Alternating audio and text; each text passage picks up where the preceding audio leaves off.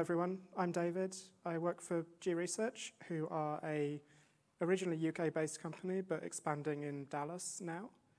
Um, I work on Kubernetes and related technologies in our open source division. Um, I'm here to talk about user namespaces in Kubernetes. But first of all, I just want to start off with a shell.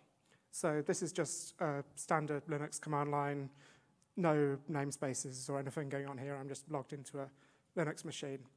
Um, I've got a little exploit here, so what happens when I run it? Oh, I seem to be root. So, yeah, okay, I'm root, right? Well, let's see. So, what did that exploit actually do?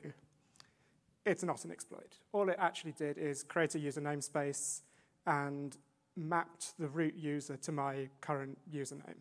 So basically, the user ID that I'm logged in as becomes mapped to UID 0, so it appears to be root, but it's not really root. So this is what user namespaces gives you at a very basic level.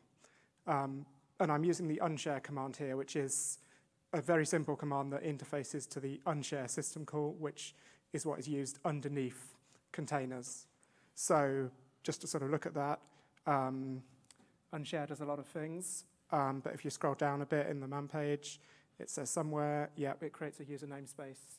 So yeah, it creates a user namespace.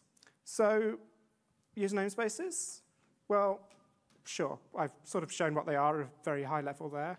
Um, there's a little bit more to them than that. Uh, but let's first of all just recap some container basics. So when I'm talking about containers, I'm going to be talking about Linux containers. Obviously, there's Solaris zones, FreeBSD jails, and Windows containers as well, which Kubernetes does support Windows containers. It doesn't quite support any of the other technologies, although there are ways to build containers on top of some of them. Um, but we're not talking about that here. This is very, very definitely focused on a particular implementation of containers in Linux that supports user namespaces. So um, this is one of the things that containers are built out of on Linux. You've got namespaces which isolate things. So you're probably familiar with things like the mount namespace, PID namespace, network namespace. Um, there's more than that, as I just showed in the unshare example. Um, user namespaces being one of them, but there's also the UTS namespace, which covers what your host name is, among some other bits and pieces, the sort of miscellaneous things. Um, and then there's cgroups as well as namespaces. So the way to think about it is namespaces isolate things, whereas cgroups limit things. So cgroups limit the amount of memory you can use, the amount of CPU you can use, and, and also things like I.O. bandwidth. And there's other things there like in cgroups version 2, uh, cgroups can limit the devices that you can access. Um, and it's associated with the cgroup, even though it's a little bit strange because it's sort of closer to the more isolation side rather than limiting, but uh, you know, a lot of this comes down to just how it happened to be implemented in the kernel. Um, and actually, that's actually one of the tricky things about getting some of this right is the interfaces are sometimes a little bit strange, often just because of quirks of implementation. Um, so we'll look at some examples of that in a moment. So this diagram is a rough example to sort of show how namespaces work. So within the kernel, a process is in a particular namespace, and then that process only sees that particular namespace. So for example, for the mount namespace, the process only sees those, those mounts that are in that namespace. But some of the namespaces, like the mount namespace in particular, are hierarchical. So if something is mounted in the mount namespace above it, depending how the namespace is set up, it may see the files above it. So you can, you can use a mount namespace to add particular files into the visibility of a process, but it can still see the processes, sorry, the, the mount points above that in the tree of um, namespaces. Uh, whereas the PID namespace is not really hierarchical. Um, so why, why am I sort of going into the detail of that? Well, it's kind of interesting, and we can also demonstrate some of this. So here again, I'm using unshare to demonstrate this. And by adding minus minus user there, I'm creating the user namespace. And as we see, we get another root shell. And we know now that this is not a root shell, really. But we've also created a PID namespace. So if we just look at what PID we have, well, we're process ID 1. But actually, interestingly, if we ask for all the processes, it's like, oh, interesting, that's um, a huge list of processes. So what have I done here? Well, I haven't created a mount namespace. So if I add this option on the end, minus minus mount proc, then unshare will actually create a mount namespace as well. And if I do that, I'm still PID1. But if I do PS UX, I see just what's in my namespace here. So that's a little bit strange, and we have to be a little bit careful with how we set up namespaces. Obviously, normally something like Docker or uh, if you're using Kubernetes, runc underneath it, uh, depending exactly what implementation you're using, is going to do that for you. So it's quite hard to get that wrong. But as we all see, there are ways that the underlying tools occasionally do get this wrong and create security issues. So um, let's close that. So um, I quite like this as a sort of comic example of what user namespaces are. This is from uh, Julia Evans with Wizard Zines, um, and she's got a whole series on uh, containers and what, they, what, what they're built out of. Um, and as you can see on one of the panels here, it says, but not all container runtimes use them. And so Kubernetes for a long time has not used user namespaces. It's been possible to enable them on Docker, but by default, most people don't, and they're often not used, which is a shame.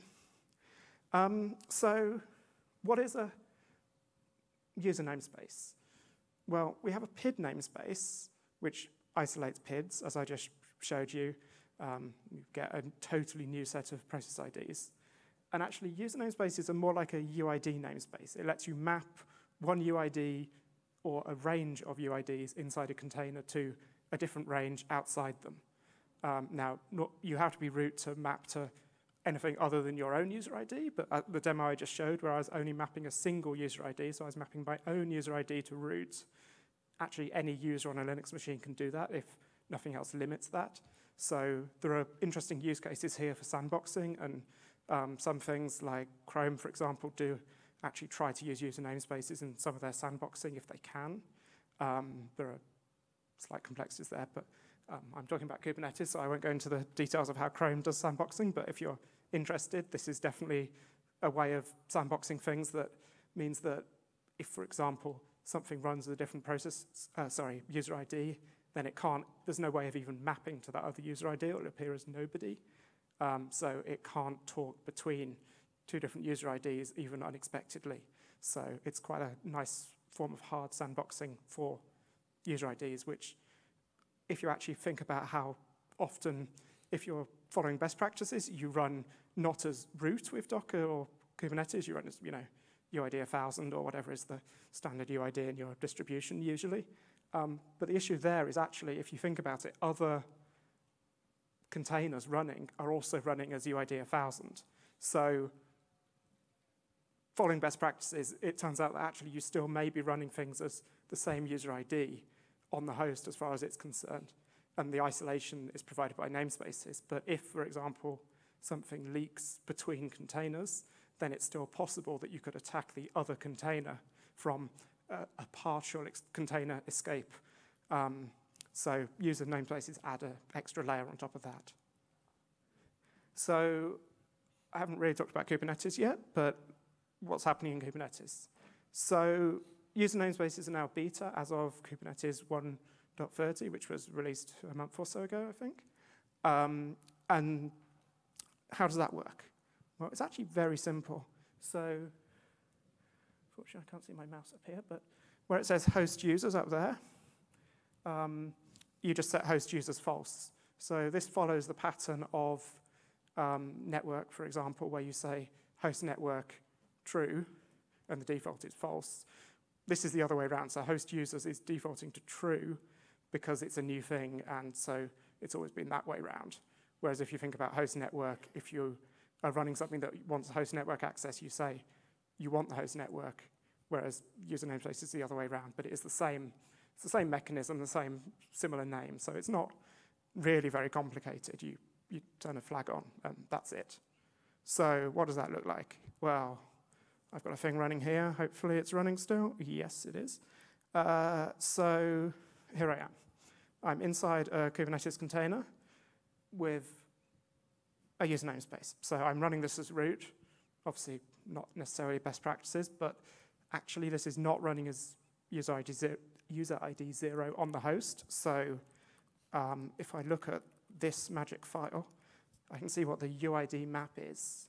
Um, and this, this is a file that serves two purposes. You can use it for debugging, but it's also the file that under the hood um, the container runtime or whatever is setting up this container writes to to say what to map particular UIDs to.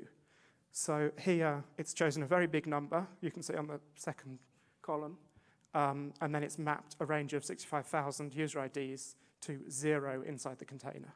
So what the, what the, what the three numbers are are the UID inside the container to start at, the UID outside the container to start at, and the number of UIDs to map. So in this case, it's saying map zero inside the container to that very big number, whatever that is. Can't even do that, but two, 2 billion or something. Um, map 65,000 users. So one, one thing that is a limiting factor with user namespaces is you only actually get 35,000 user IDs, sorry, not 65,000 user IDs.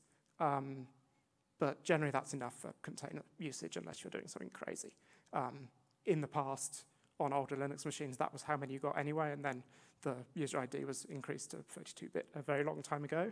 Um, but user namespaces just carve up that existing range. Um, there is a potential future work going on in the kernel to actually expand the kernel's internal user ID to 64 bits so that containers could actually have a 32-bit range, uh, but that would never be uh, a particular user namespace would never have more than 32 bits worth of user ID. So that way it could actually be almost fully virtualized as it were. You wouldn't, you, you could have something that wouldn't be visible from outside as a limiting factor. Um, but for now, this is not really a limiting factor. The only, the only thing that is slightly annoying is if you do want to create a user namespace within a user namespace, which is fine. You can nest them up to 16 times.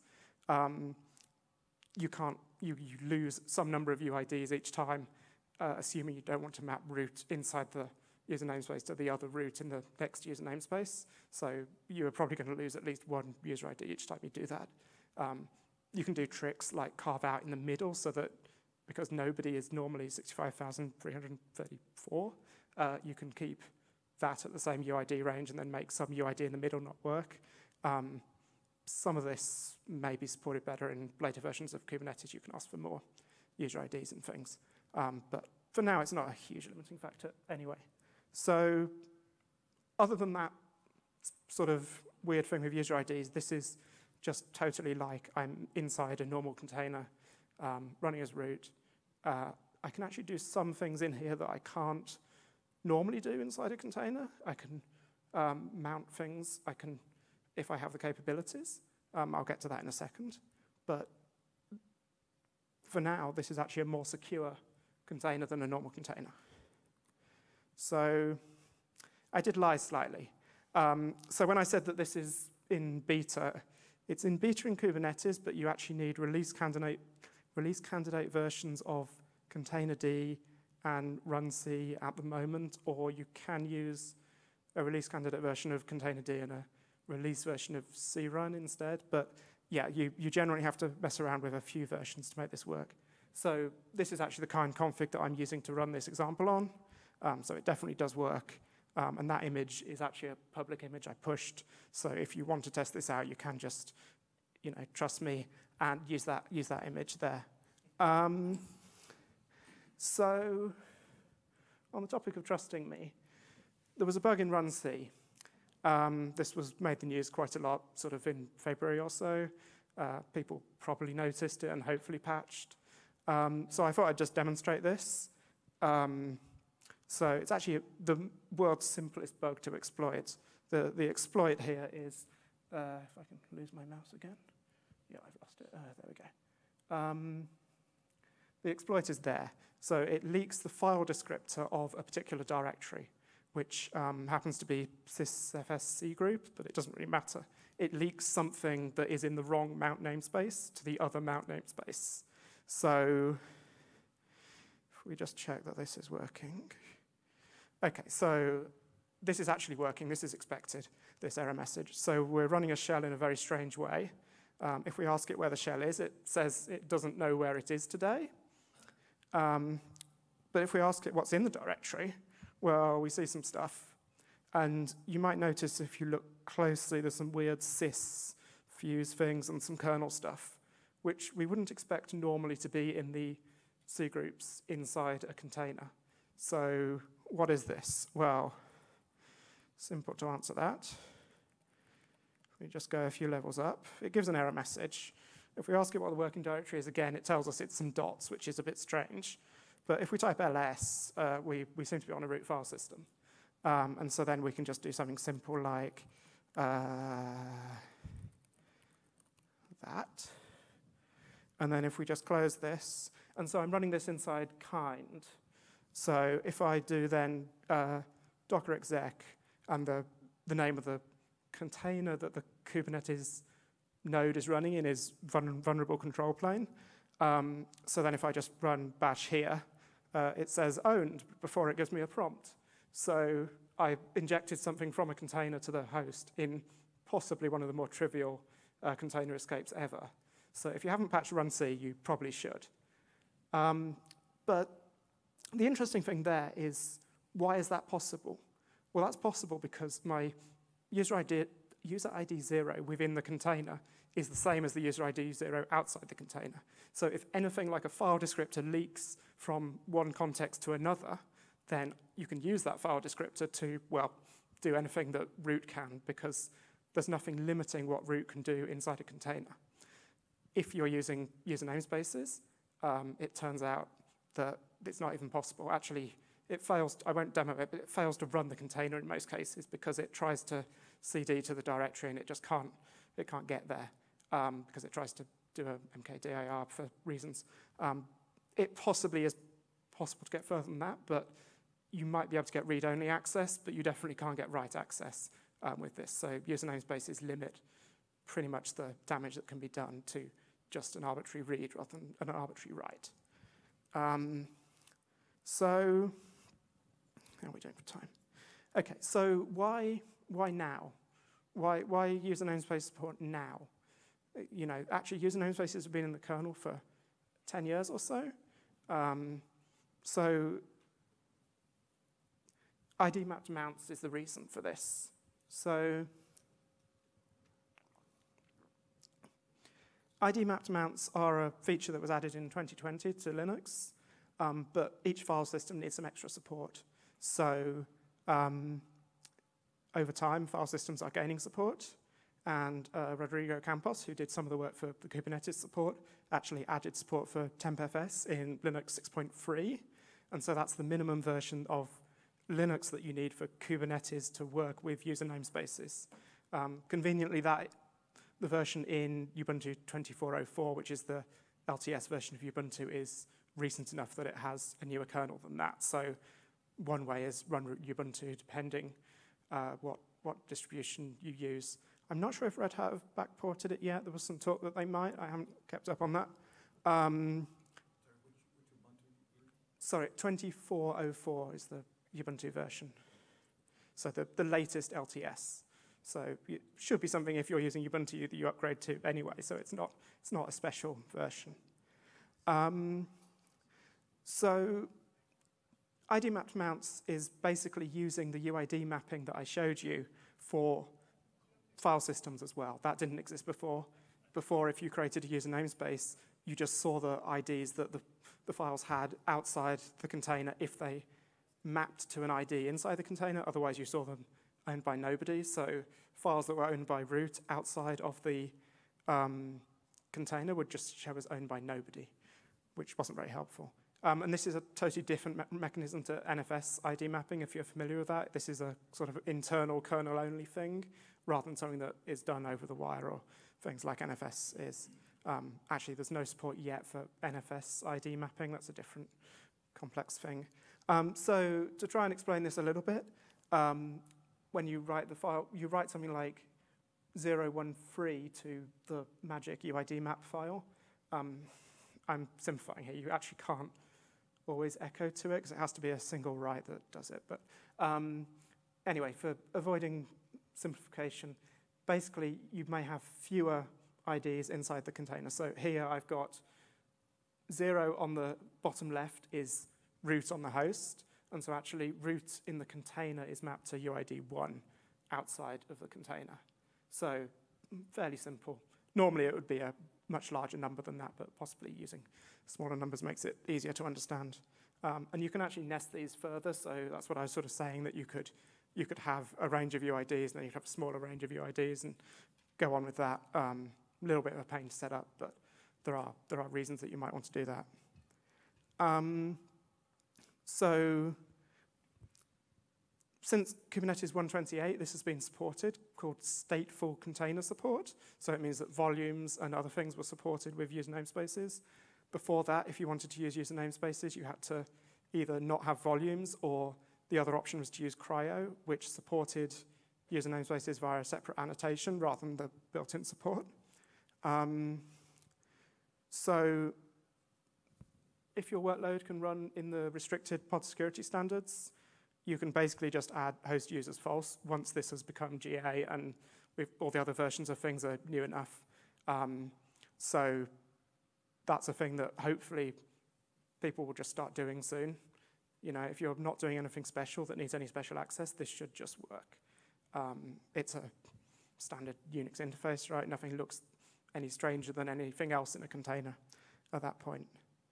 Um, so where can we go from here? So I mentioned that we have root inside the container, and that root is a more capable, in some ways, root than root outside the container.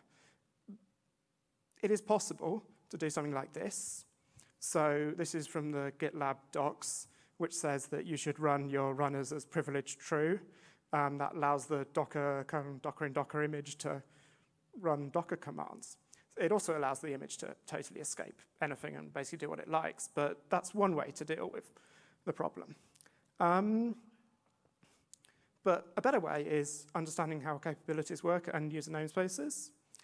So again, I'm just going to run a little prompt here. So we can see inside this user namespace, we actually have some capabilities, and that is a bit of a hard output to read.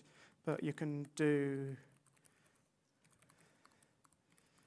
this. So the, the effective capabilities are um, this, and if I, I won't decode it, but if we decode it, that is essentially all the capabilities in that list up there. So you'll see that is a lot of capabilities.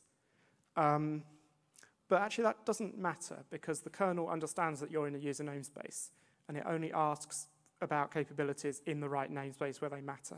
So some of these, for example, sys module, well, you can only load a module in the host or initial user namespace. So it doesn't matter what, whether you've got sys module in a container because it won't do anything, which is very different to how it currently works with a privileged container where it will definitely be able to mess with kernel modules and do all sorts. So this is kind of neat because it means that um, we can do this. So in the Docker source code is the list of the default capabilities it wants. So to make, make it so that people don't have to configure anything strange for Docker, um, we can put this list. So it's got capsysadmin in there and some other things. Um, there's also another thing in here called proc mount unmasked, which means that it doesn't mount something over proc slash sys, which is normally needed to stop someone writing to syscontrols and things. Um, again, the kernel understands that you're in a user namespace and that you shouldn't have permission to do that, so it's safe to do that. There are a couple of extra information leaks that come up, but the worst I can find is someone complained that someone could figure out if they were playing sound on their desktop if they were also running Kubernetes, so there's not actually like any serious security issues there. Um, and so this is probably going to become a, a thing that people can make use of. Um, that, that particular feature has actually been stuck in alpha in Kubernetes for two or possibly more years. Um, it's now hopefully coming out of alpha, um, and it just makes it easier to do this. It turns out it doesn't actually matter if you have this feature or not, because, because you have capsysadmin inside the uh, container, you can just unmount things anyway. Um, so it's a bit of a confusing thing. Um, but currently to run Docker needs CRI-O because there's one extra feature that we don't have in Kubernetes itself and in Containerd. So um, how, how this works is when CRI-O sees sbin init as the entry point that is being run, it does some extra tricks to set up the cgroups to be owned by the user ID inside the container. Um, so somewhere here, I've got already running, I've got a Docker test. So if I just go into this, uh, exec, Docker test. So hopefully this has worked. So here I have a sleep infinity running inside this. So like I showed before, this is just a user, user, user namespace container. Um, it's running as root. It's running on CRI-O for this, this example, just because, as I said, the cgroup needs to be owned by the right um, user, which CRI-O does automatically. Um, it should be possible very soon for Containerd to do that, whether through an add-on or we get that into Kubernetes itself, I'm not sure. Um, so while I'm here, I'll just run something again. Uh, Alpine. Yeah, okay, so now, now there's two things running inside that. So you can see Docker, Docker just works. Um, and if I now go back onto the host, um, so we can see a lot of things here. Um, somewhere, hopefully in this output, we should see, you can see Docker running here, and in the middle, I can see there's a sleep infinity and a sleep 4242. So this, this CRI-O here is actually the CRI-O that has been created for the container, and then we're running systemd inside that container. Um, and basically, within that, we then have containerd running, which Docker has run for us, and we then have some Docker scopes that have been created, and you can see those would be running Alpine, but because we just ran, directly ran sleep, we don't see an init or anything inside them, we just see the commands. But as you can see here, this is correctly nesting cgroups and things so that actually we can run Docker within Docker without having a privileged container or any of the other things that um, might be needed for that. So what does the Docker file for this look like? Well, it's as simple as this we install Docker and systemd and set the entry point to slash sbin init, which if you compare that to the Docker, Docker in Docker image is considerably simpler and much easier to reason about. It's just a standard Linux setup, really. You're running systemd, and when you install a component, systemd is set to start it automatically, so you don't even have to think about it. It just works, which is quite nice and hopefully makes things much easier. Um, there's various issues with the Docker and Docker image itself, other than that people mostly run it as privileged. Um, I think actually the Docker and Docker image would probably work inside this environment. I've not tested, but uh, no reason it wouldn't. Um, one issue, though, is that Docker needs IP tables, and IP tables needs capnet admin. And capnet admin has some issues. So that was one of them. That was in 2022. Um, more recently, there was this one. So, do we actually want to give people um, the ability to run stuff with CapNet admin? Well, you don't have to give CapNet admin. You can potentially use something like Podman with user space networking, but it still probably is possible to exploit that. You still need to allow, inside one of the containers, you need to allow some level of network configuration, which needs net admin. So it's sort of unavoidable. So um, it's, it's avoided in normal containers, which aren't trying to run Docker or do anything crazy, because the seccomp pol policy blocks the clone system call and the unshare system call when it tries to create a namespace. Um, but we won't allow it, so I didn't show that actually, but you set a seccomp policy that doesn't filter anything. Um, so what's the answer? So this is Tetragon.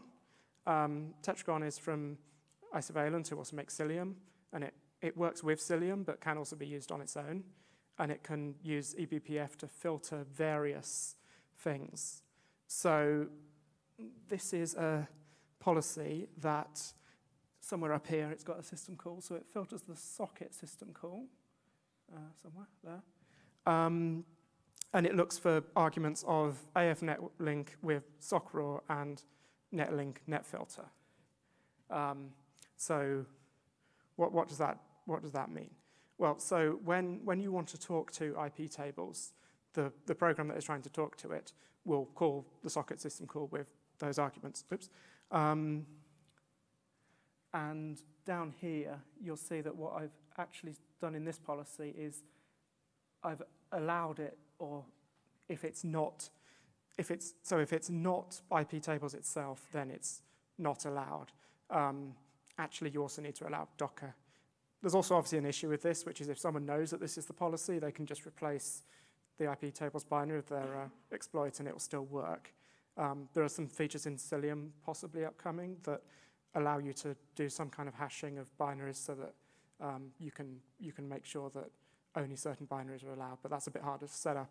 Um, but the point is this does begin to give you a way to at least audit what people are doing inside user namespaces and maybe, maybe do something that would block some exploits, at least the, you know, the really obvious. Someone downloads the exploit and runs it directly rather than modifying it. Um, so it's still not great, but you know, that's partly the cost of flexibility, right? Um, so one interesting thing here is that Ubuntu 24.04 added a restricted mode for user namespaces so that if you're an unprivileged user, the demo I was just doing where I did unshare, that doesn't work on Ubuntu anymore, which also means that exploits like the settlers of Netlink one and the other one won't work, which is good. Um, it turns out actually this is not applicable in our case because usually what's happening is kubelet is running as the root user, so it's not unprivileged, and then it's creating a user namespace. So it can still do that. But the problem is that that still means someone has a user namespace that if you give them the CAP_NET_ADMIN capability and they are still capable to exploit the machine based on that. So um, that's possibly helping in one respect, but not really in the Kubernetes respect. Um, other than Tetragon or other eBPF-based filterings, I don't really have any good ideas other than maybe we can, you know, filter the kernel a bit more, but uh, that's a different discussion. So other options are gvisor, um, but gvisor lets you run workloads in a sandbox, and it does that by, there was a talk earlier uh, yesterday, and one of the things that it won't do is it won't give you enough system call surface to run the whole of Docker. It, I don't think they're probably ever going to target that. I haven't actually asked them, but uh, it seems unlikely that they would try to implement the whole of IP tables in user space.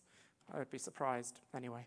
Um, the better option is to use something like Kata containers, which is a virtual machine of some kind that is run as a container. Um, and in many ways, if you actually want real proper sandboxing, that is the better option if you also want to be able to run you know, Docker-like workloads or more capable workloads. So if you want to use that, I would really recommend that. The issue is actually the things I showed you with eBPF and Tetragon, that won't work because it's a kernel inside the other kernels, so it's actually harder in some ways to get visibility into it. But the, the big one is the performance isn't as good because, for example, a block device is going out of Kata and in again. Um, there's some optimizations there, but none of them are quite as fast as directly running on the host itself. So as usual, it's a trade-off with security, and at least for the use cases that we're using them for, we quite like user namespaces because it gives us a little bit more capability um, and maybe some slightly better security than you know, directly running privileged things or other options like that. Um, so yeah, in summary, if you can, try user namespaces and give some feedback on the beta. Um, like I said, you may need to install release candidate versions of things right now. Uh, that should soon be released, but I can't speak for projects as to when they will release things um, hopefully in the future, that actually if you can use user namespaces, so if you're workload can run in the restricted pod security standards, you should be able to use them. If it needs privileges but not host level privileges, you should be able to use them. Uh, but if not, maybe Kata containers is the answer there. Else, I'm curious what use case you have that doesn't work here. There are some.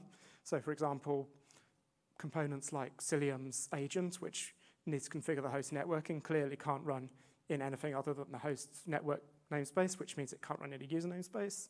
Um, so that would, that would be, you know what you're doing, so don't use user namespaces. But other than sort of system level components like that, possibly some monitoring systems might need to not run in user namespaces, but nearly everything, it would be a few components running outside of them, and then they should just become the default. So that's all I have. Um, there's some links there, so Rodrigo and the other people who worked on the uh, user namespace support in Kubernetes wrote a blog post. Um, I helped a tiny bit, but not very much. Um, and there's also a historical article there from Netflix, which is very interesting because they, they, they are internally using a different container runtime of their own. Um, but they kicked off some of the work to get this in integrated in Kubernetes. So a lot of that is what I said in this talk, but there's some interesting background there as well. Um, and yeah, that's all I had. Thank you very much. And any questions if you've got them? Does this mean we can now run Kubernetes and Kubernetes? Yes, it does. Um, it needs a patch. I've got a patch that needs to actually get cleaned up. Um, there's a detail there that sysfs is usually mounted read-only. Inside a user namespace, it's actually safe to write it read-write. Um, sorry, mount it read-write. But that's not yet um, ready, and it certainly probably won't be an upstream Kubernetes for a long time, if at all. It's currently available. The patch I've done is an annotation for CRI-O, um, we're actually using that internally, and I think people have run Kubernetes on Kubernetes for testing things. Um, I, yeah, it's a bit crazy, but I do, I don't have it handy, but I do have a screenshot somewhere of what I showed with system, systemd with nested, nested, nested. So you get like three levels of nesting. So it's kind of crazy and fun. But like I said, you can nest this up to 16 times. So give people the tools and they'll do crazy things.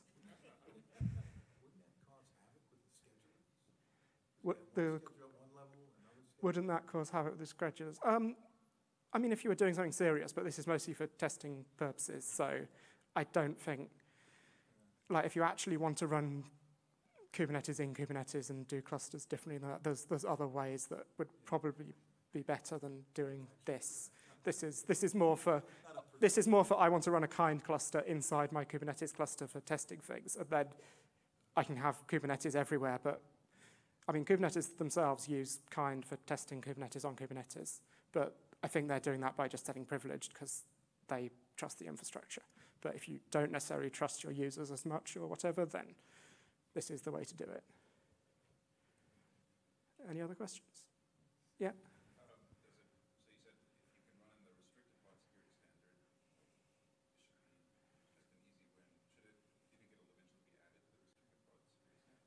Yes, so the question was, would this be part of the restricted pod security standards eventually? I, I hope so. Um, there was some talk of actually having like an intermediate pod security standard that allowed some of the extra things that user namespaces allowed you to do. I don't know if that one's going to happen. Was, there was some pushback on that. But yeah, I think eventually making it part of the pod security standards would be great. The problem with that is Kubernetes supports back to quite old Linux kernels, and so making it officially part of the pod security standards would limit the kernel support to a very recent kernel. Um, and Kubernetes is still supporting back to 4 point something. So it would probably be like five years in the future just because of you know, cycles and timelines for long-term support and things that when that would actually happen. Yeah, another question?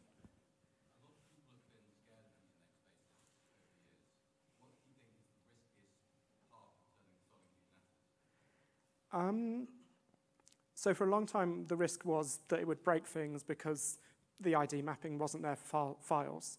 Actually, the ID mapping for files is still the riskiest part because even if you have root inside a user namespace, if you create a file, the ID mapping means it goes back to being owned by root on the actual host itself.